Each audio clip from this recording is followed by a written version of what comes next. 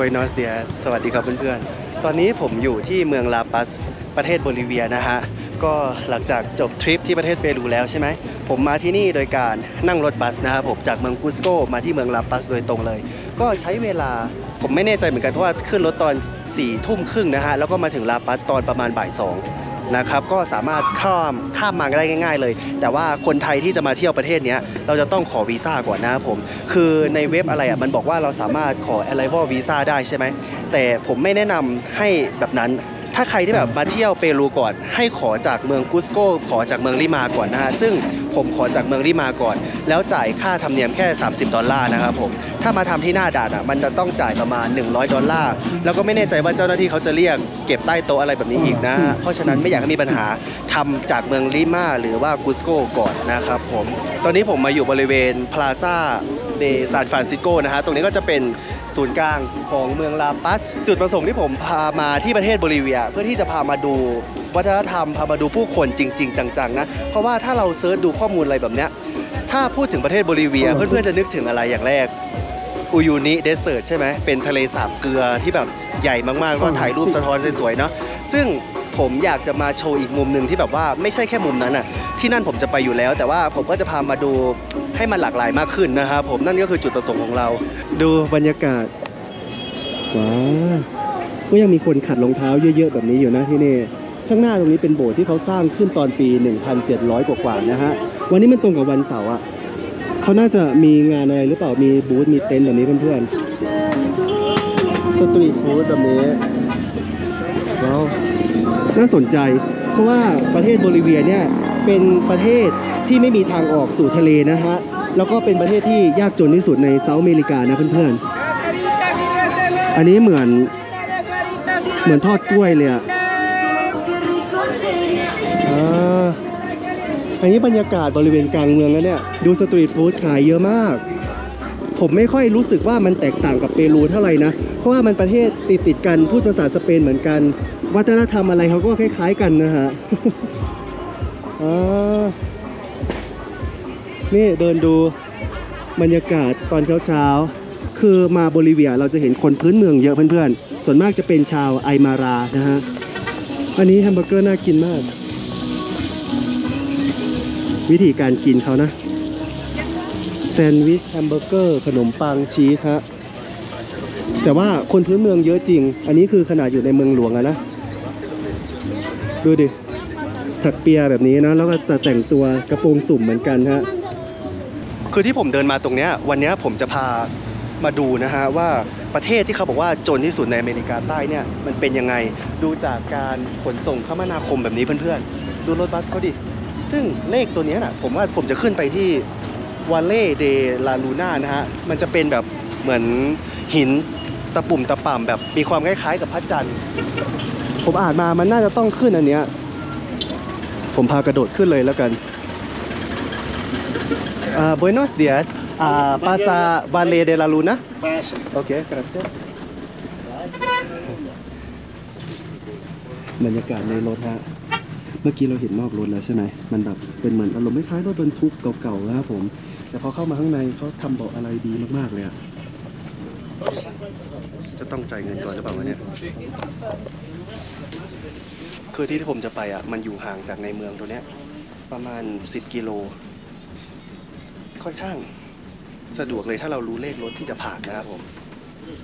อันนี้เงินนะ ผมใช้วิธีการไม่กดเงินที่นี่นะครับ เพราะว่าค่ากดเงินแพง ก็คือเอาเงินดอลลาร์มาแลกเป็นสกุลเงินโบลิเวียโนนะครับผม1โบลิเวียโนเท่ากับประมาณ 5.30 บาทบ้านเราเอ่อ cuánto cuesta para tarifa 2.50. 2.50 Sí. tres ผม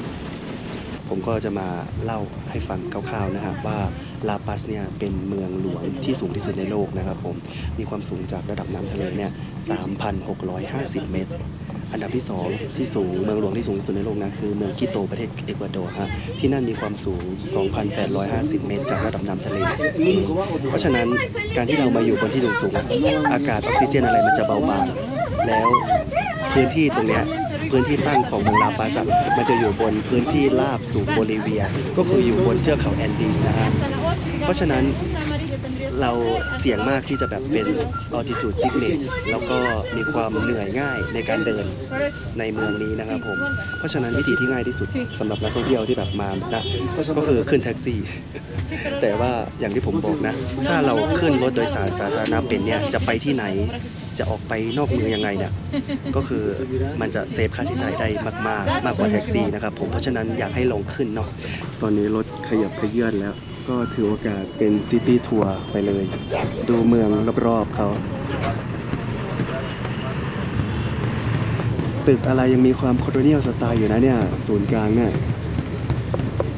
ข้างทางคือแบบของขายเยอะมากอะ่ะจะขายอะไรกันไม่รู้ ในเมืองเนี่ยก็จะเห็นรถตู้แบบนี้นะน่าจะเป็นแบบยานพาหนะท้องถิ่นที่คนเขาเลือกใช้ที่สุด คล้ายๆกับที่อียิปต์นะฮะเนี่ยรถตู้แบบเนี้ยว้าเต็มถนนเลย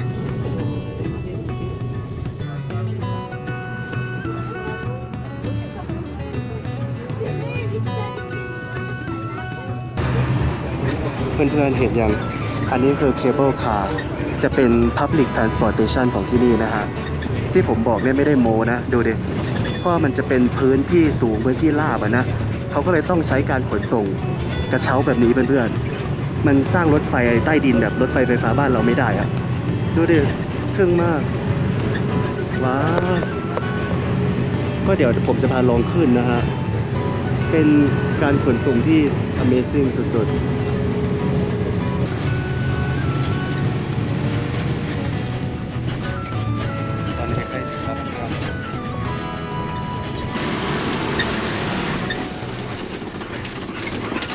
Gracias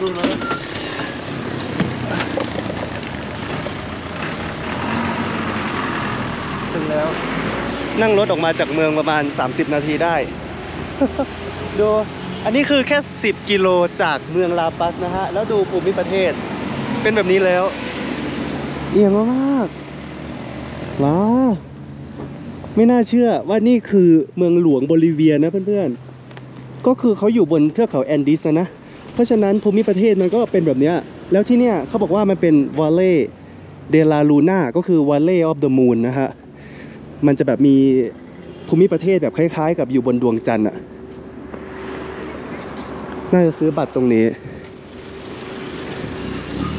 นี่คือสถานที่ท่องเที่ยวในเมืองหลวงอันเนี่ยแห้งแล้งมาก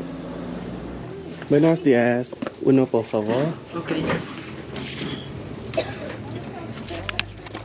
นี่ทางเข้า ผมว่ามันเหมือนอะไรนะ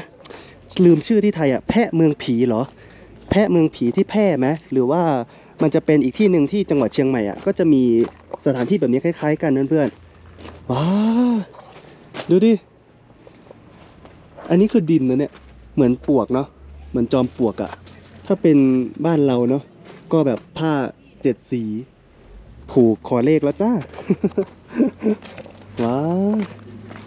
ทำไมที่นี่ถึงได้ขึ้นชื่อว่าเป็น Valley of the Moon รู้ไหม เพราะว่านิวอาร์มสตรองนักนักบินอวกาศ คนที่เขาไปสำรวจไปเหยียบดวงจันทร์เป็นคนแรกอะ่ะเขาได้มาอยู่ที่นี่ด้วยเพื่อนๆ พอเขาได้มาที่เนี่ยมาเห็นแล้วเขาก็บอกว่า เฮ้ย มันมีความคล้ายๆกับกับดวงจันทร์ที่เขาได้ไปเหยียบมาเลย หลังจากนั้น government ที่นี่ก็เลยได้เปลี่ยนชื่อครับเพื่อนๆ ก็อ้างอิงจากความคิดเห็นของนิวอาร์มสตรอง นักบินอวกาศที่เขาได้ไปเหยียบดวงจันทร์มานะ เราก็ไม่เคยไปดวงจันทร์เนาะเราก็ไม่รู้ว่าเป็นยังไงแต่ เราก็เชื่อคนที่เขามีประสบการณ์ไปเหยียบมาแล้วอะที่นี่ก็เลยได้ได้ขึ้นชื่อว่าเป็น Valley of the Moon ว้าดูเดินขึ้นมาข้างบน เห็นวิวแบบเนี้ยแล้วดูดิ ตรงนั้นก็เป็นหมู่บ้านเป็นบ้านคนอาศัยอยู่รอบๆนะครับผม ดูภูมิประเทศเพื่อนๆ นี่คือประเทศโบลิเวียแล้วเนี่ย เมืองหลวงนะฮะกลับยังไงเนาะทีนี้ ข้างหน้าก็มีแท็กซี่จอดอยู่นะ แต่ว่าน่าจะแพง เราขึ้นรถสาธารณะมาได้ แสดงว่ามันก็น่าจะมีรถบัสรถตู้กลับนะครับผม เมื่อกี้เราลงตรงเนี้ยแล้วรถบัสเขาวิ่งไปฝั่งนั้นต่อนะ เราจะต้องรอตรงไหนเนาะเพื่อนๆ มาได้แต่ว่ากลับไม่ถูกเด้อทีนี้ เนี่ยรถตู้ก็วิ่งอยู่นะเนี่ยรถตู้วิ่งเต็มเลยอะแต่ว่าเราไม่ใช่คนท้องถิ่นนะมันก็จะขึ้นยากนิดนึงนะ ขอเดินมาซื้อน้ำตรงนี้ก่อน นารันฮะ Eh, es maracuyá, อ่ามาราคุยะ cuánto cuesta para cinco bolivianos. Ok, no, por favor.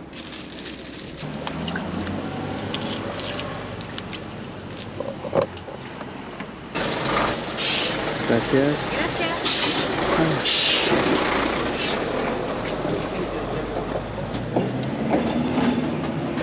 ¿Tú sabes puedo regreso a San Francisco? Plaza de San Francisco. Va, va a pasar por acá un minibús que diga Pérez. Voy a pasar aquí. Por acá va a pasar Ah, ok. la movilidad. ¿Puedes me ayudar? Sí, en la movilidad. โอเค gracias รถมาแล้วจ้า แม่ค้าเรียกให้ขากลับเรานั่งรถตู้กลับนะเพื่อนๆ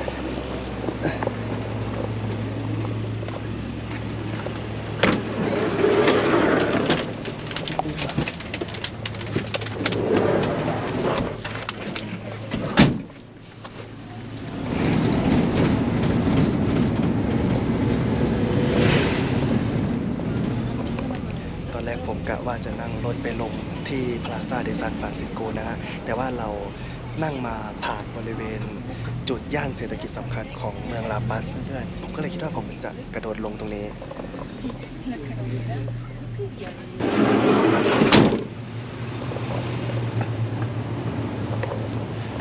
จะลงจากรถตู้ก็คือ ลงกลางสี่แยกไฟแดงแบบนี้เลยฮะเพื่อนๆ แล้วเขาไม่มีป้ายรถเมล์นะ ถ้าที่สังเกตอะ จะขึ้นตรงไหนก็คือโบกเอา ตรงนี้มันชื่อว่าโซโซโปคาชิมั้งโซโปคาชิฮะเพื่อนๆ ย่านโซโปคาชิเนี่ย ก็จะเห็นตึกนะ แต่คิดว่าน่าจะเป็นคอนโดมิเนียมที่อยู่อาศัยมากกว่า ไม่รู้ว่าย่านย่านที่แบบว่าตึกเหมือนย่านสาทรอะไรบ้านเราเนี่ยอยู่ตรงไหนกันแน่ น่าจะอยู่รวมกันแถวๆนี้แหละอ๋อคือผมเห็นวัยรุ่นอะไรเต็มเลยบริเวณเนี้ยผมก็เลยโอเคพามาดูสักหน่อย มันตรงกับวันเสาร์นะเขาน่าจะแบบมาแฮงเอาท์อะไรกันเพื่อนๆ ผมก็ไม่อยากโชว์ให้เห็นแค่แบบมุมเดียว มุมที่แบบยังไม่พัฒนาอะไรแบบนี้นะฮะก็เลยพามาดูว่ามุมที่มีตึกสูงๆอะไรแบบเนี้ยบ้านเขาเนี่ยเป็นยังไงนะเพื่อนๆร้านค้าแบบนี้ก็เยอะนะร้านเล็กๆอ๋อเขามีสัญญาณไฟให้คนข้ามถนนแบบนี้อยู่ อันนี้น่าจะเป็นช้อปปิ้งมอลล์ ค่อนข้างหรูอยู่นะเนี่ย เดินเข้ามาแบบเนี้ยอ๋อสาวโบลิเวีย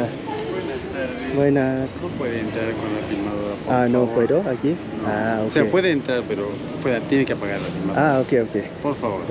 Pero teléfono no problema. Gracias. เขาเห็นเราถือกล้องมา แกบอกว่าถ่ายไม่ได้นะ แต่ว่าใช้โทรศัพท์ถ่ายได้ ก็มาอยู่หน้าบริเวณช้อปปิ้งมอลล์เพื่อนๆ เหมือนเขามีการแสดงโชว์อะไรสักอย่างอะ เดี๋ยวผมจะถ่ายให้ดูนะ ใช้โทรศัพท์ละ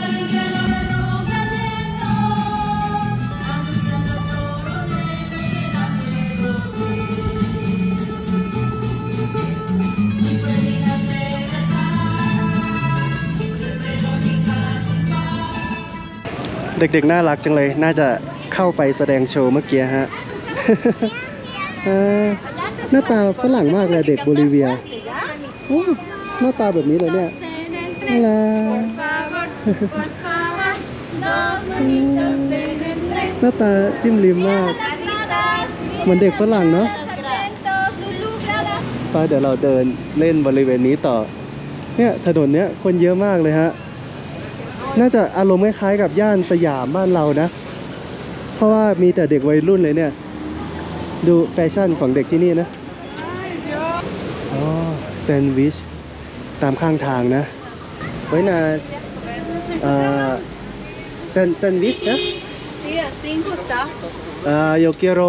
po- pollo por favor Solamente tengo de carne, nada más. grande ah ok ¿Cuán- cuánto A cinco bolivianos. Ok, gracias. Por favor. Sí. มีเล็บมีเหลือแค่เนื้อนะครับผม ไก่ไม่มีแล้ว ราคา5โบลิเวียโน Picante, ya cuitas. 4 todos Ya. มันเป็นแฮมเบอร์เกอร์อะแต่เขาเรียกว่าแซนด์วิชที่เนี่ย Gracias Gracias ไม่แน่ใจว่ามันปลอดภัยไหมที่เนี่ย ผมก็วางกล้องไว้นะ Aquí es peligroso para mi cámara, ¿no? No problema. No. ¿No? No, no pasa nada. Mi primera día aquí en La Paz. Mm.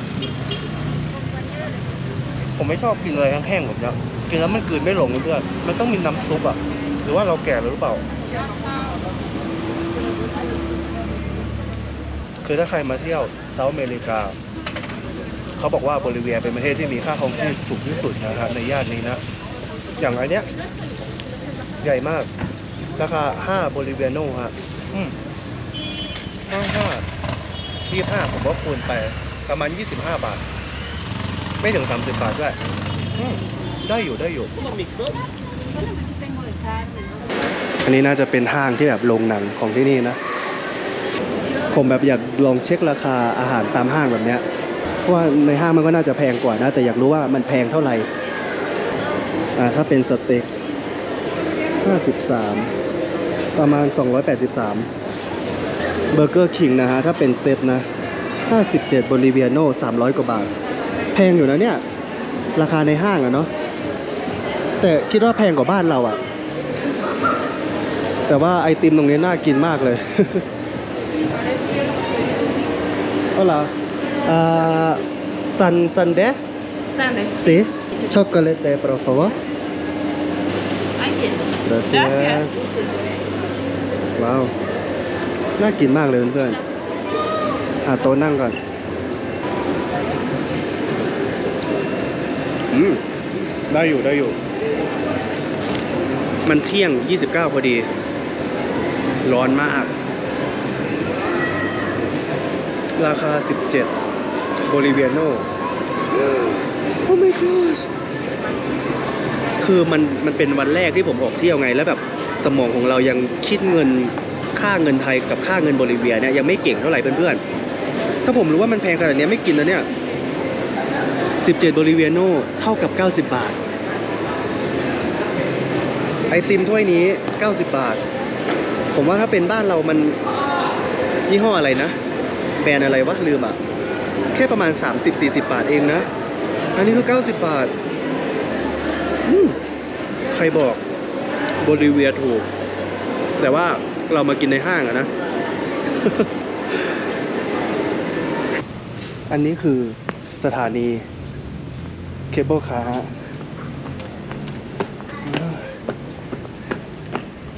โอ้โหนี่คือทางเข้านะ นี่ อันนี้คือ map เคเบิลคาร์ทั้งหมดทั้งมวลในนี้นะ เขาเป็นประเทศที่มีระบบเคเบิลคาร์เนี่ยที่ใหญ่ที่สุดในโลกนะเพื่อนๆมีประมาณ 10 สายด้วยกันนะ นี่เราอยู่ตรงนี้นะ เราจะต้องเชื่อมไปแบบนี้อะผมจะพาขึ้นไปบนนี้นะเอลอัลโตนะ แค่ทางเข้าก็ว้าวแล้วเนาะสะอาดมากเลยเพื่อนๆแปลกไหมไม่มีเมโทรไม่มีรถไฟฟ้า แต่ว่ามีระบบขนส่ง คือกระเช้าลอยฟ้าแบบนี้ฮะก็คือ เห็นวิวได้ด้วย แล้วก็เป็นความการท่องเที่ยวได้ด้วยอะไรแบบเนี้ยคือแต่ละสายมันก็จะเชื่อมคอนเน็กกันหมดเลยอะเพื่อนๆโอ้ดูดิว่าทำไมเขาถึงมีกระเช้าลอยฟ้าแบบนี้นะ เพราะว่ามันจะเป็นภูเขาสลับกันไปกับพื้นราบอะว้าว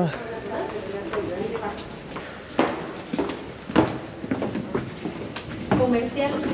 Ya. Ya, คือ ya, ส ya. ถานีมันอยู่ข้างล่างใช่ไหม ก็ต้อง นั่งลิฟต์ลงไป Ya, ¿y qué? ¿Dónde? Una vez que bajemos de la estación, ¿hacia dónde tenemos que ir? ¿Qué estoy viendo? ดูดิมันสูงมากๆเลยนะ เราต้องนั่งลิฟต์ลงไปอะ Aquí nos pasas la Wow. ubicación, nosotros llegamos. แต่คือระบบจัดการอะไรเขาดีมากๆเลยนะครับว้าวเพื่อนๆ สะอาดมาก สะอาดมากเลย โอ้ ดูดิ มีลิฟต์แบบคอยอำนวยความสะดวกให้กับผู้โดยสารอะ เราจะต้องซื้อบัตรนะฮะเขาจะขายทิกเก็ตนะ ไม่รู้ว่าราคาเท่าไหร่วะอ่า Buenas, yo quiero visitar Plaza Villan. Sí. Solo esta línea, solo la línea blanca. Ay, qué tonto guarda la tarjeta. Línea blanca. Sí Así. gracias De nada. ซื้อบัตรนะฮะ ราคา3อ่า โบลิเวียโนประมาณ 15 บาทเพื่อนๆ ถูกอยู่นะ แล้วก็มาขึ้นตรงนี้ นี่ ว้าว ปกติเราแบบรอรถไฟแบบนี้ใช่ไหม แต่นี่คือเราจะขึ้นกระเช้าลอยฟ้านะฮะเอียงมากๆ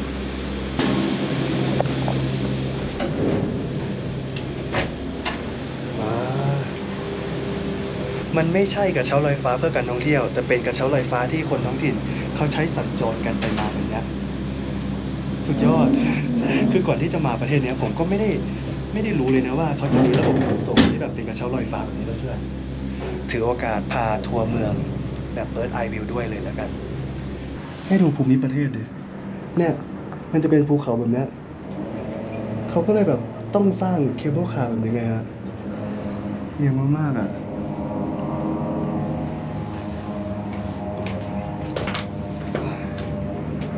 ผมก็จะนั่งต่อประมาณ 3 สายนะฮะ เพื่อที่จะขึ้นไปจุดสูงสุดของเมืองลาปัสนะ ตรงนั้นเขาจะเรียกว่าเอลอัลโตฮะ คือบริเวณในเมืองลาปัสเนี่ยมันจะสูงจากระดับน้ำทะเลเนี่ย 3,650 เมตร แต่ว่าบริเวณเอลอัลโตเนี่ยมันจะสูงประมาณ 4,038 เมตรครับเพื่อนๆ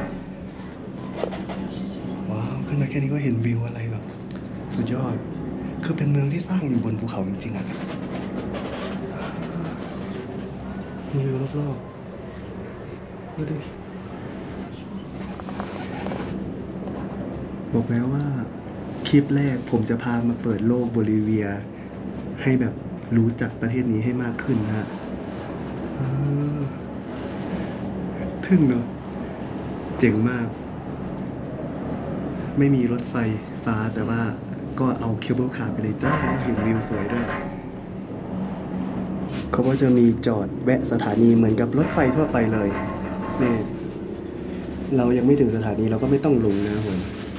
แต่คือสถานีอะไรเขาสร้างได้แบบสะอาดแล้วก็โอเคมาก ๆ เลยครับเป็นระเบียบดีนะ การจัดการอันนี้คือคนที่เขาจะลงก็ลงไปตรงนี้ อันนี้ก็เป็นของเราคนเดียว ระบบการขนส่งแบบเคเบิลคาร์ที่ใหญ่ที่สุดในโลกครับ อยู่ที่เมืองนี้ลาปัสประเทศโบลิเวีย อารมณ์เหมือนผมแบบไม่ได้ขึ้นรถสาธารณะ อันนี้เหมือนแบบเรามาเที่ยวอะ เหมือนแบบมานั่งกระเช้าเที่ยวดูวิวเพื่อนๆ ประเทศที่จนที่สุดในอเมริกาใต้ครับเพื่อนๆ แต่ว่าการขนส่งอะไรเขาแบบนี้โอเคอยู่นะ ตั้งแต่ผมพาขึ้นรถบัสขึ้นรถตู้ แล้วพามาขึ้นเคเบิลคาร์อะไรแบบนี้อีกเนาะ ได้อยู่นะ เนาะ ถึงแม้ว่า GDP ต่อหัวของคนเขาจะแบบน้อยอะ่ะแต่ว่าระบบการขนส่งขั้นพื้นฐานในเมืองใหญ่ ๆเขาแบบเนี้ยก็โอเคระดับหนึ่ง แต่ว่านี่มันเป็น capital city ของเขาอะนะ เพราะฉะนั้นรัฐบาลเขาก็น่าจะเอาเงินมาลงทุนกับบริเวณนี้เพราะว่านักท่องเที่ยวก็เข้ามาเยอะครับผมเพื่อนเรายังไม่รู้ว่าเมืองนอกๆเนี่ยจะเป็นยังไงเนาะแต่ว่าเท่าที่เราเห็นตอนเนี้ย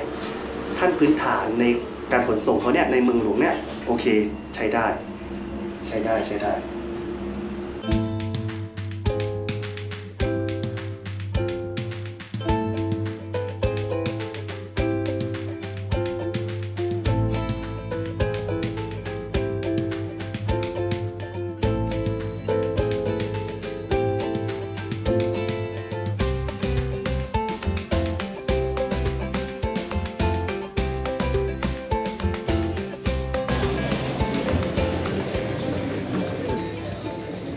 เบียร์ท้องถิ่นฮะ ราคา 5.50 5.50.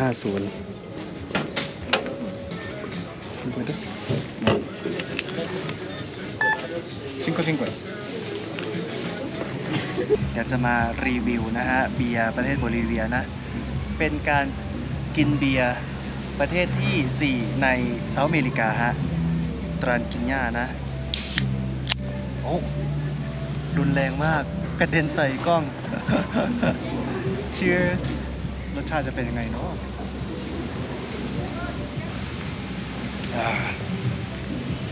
คือเบียร์เปรูอะมันจะรสชาติหวาน คือแอลกอฮอล์มัน5%เหมือนกัน แต่ว่ารสชาติหวานฮะ อันนี้จะมีความขมนิดๆ แบบว่าไม่ขมมาก ไม่หวานมากอะมันพอดีอะอืม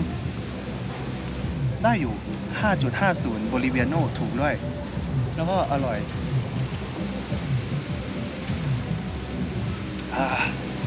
มีแฮงตอนนี้เวลาหนึ่งทุ่มนะเพื่อนๆ ผมพามาปิดท้ายวัน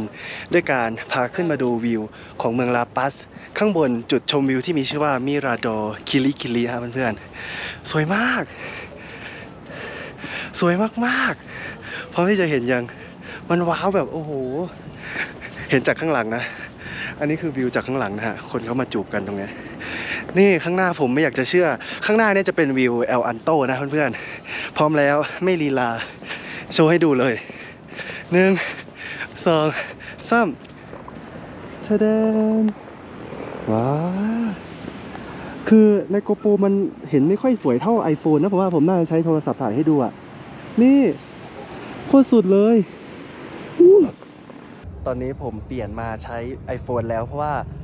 โกโปรเมื่อกี้ถ่ายกลางคืนคุณภาพแย่มากฮะ ดูดิ ว้าวไหมอันนี้คือว้าวของแท้นะฮะ เปลี่ยนมาใช้ iPhone แล้วแบบชัดแจ๋วเลยเพื่อนๆดูวิวข้างหลังเอียงมากๆ เป็นอีกหนึ่งจุดที่ที่ควรมาฮะ มาโดยเฉพาะกลางคืนนะ เพราะว่าตอนกลางวันมาเนี่ยมันแดดจะร้อนแล้วก็ไม่เห็นไฟสวยขนาดเนี้ย อันนี้คือเหมือนสวรรค์บนดินเหมือนเป็นดาวอะ่ะ ดู ประทับใจมากเลยอะ่ะ วันนี้เราก็ได้รู้จักลาปัสโบลิเวียกันเยอะนะฮะเนี่ย ตอนเย็นๆก็พามาปิดท้ายกับวิวตรงนี้ ว้า เราน่าจะเปิดด้วยการใช้ iPhone เนาะดูดิวิวสวยไหมสวยเนาะเพื่อนๆ โอ้โคตรสุด เหมือนเป็นดาวอะดาวที่แบบอยู่อยู่บนดินอะสวยมากเพื่อนๆนี่วิวกลางคืนนะไนท์วิวรอบๆ เป็นเมืองก็ที่ยังไม่ เจริญเท่าไหร่นะผมคิดว่า แต่ว่ากลางคืนวิวสวยมากเลย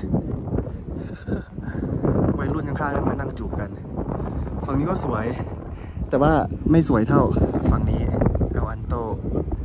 ว้าโรแมนติกอะวันนี้เราก็ได้ทำความรู้จักประเทศโบลิเวียกันคร่าวๆแล้วนะฮะ EP 1 นะ ก็ผมขอจบคลิป EP 1 ด้วยวิวสวยๆ ตรงนี้นะ ก็เจอกัน EP 2 ต่อไปครับเพื่อนๆบ๊ายบาย